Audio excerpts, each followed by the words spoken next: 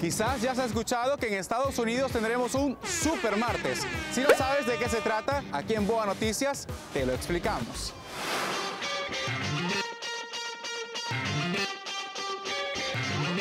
No se trata de un día en el que habrá un eclipse total o liquidaciones en todas las tiendas. De hecho, eso solo ocurre en el llamado Viernes Negro. Los supermartes ocurren cada cuatro años durante el proceso de primarias de cada partido de cara a las elecciones presidenciales. Durante ese día, los electores de múltiples estados van a las urnas a votar.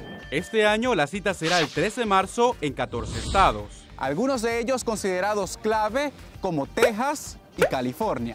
La elección también es vista como un termómetro para determinar qué precandidatos tienen ventaja sobre otros. Si lo entendiste y quieres que otros lo hagan, comparte este video.